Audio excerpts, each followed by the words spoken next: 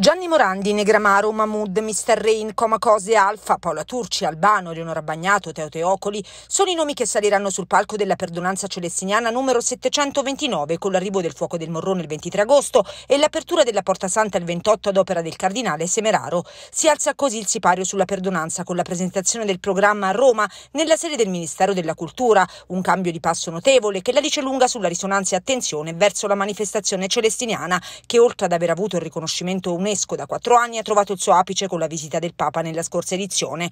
A presentare una settimana ricca di appuntamenti irrinunciabili tra riflessioni storiche e spirituali, concerti, spettacoli e rivocazioni sono intervenute il sottosegretario di Stato al Ministero della Cultura Gianmarco Mazzi, il presidente della regione Abruzzo Marco Marsilio, il sindaco dell'Aquila Biondi, il vescovo ausiliare dell'arcidiocesi metropolita dell'Aquila Monsignor D'Angelo, il direttore artistico, il maestro Leonardo De Amicis.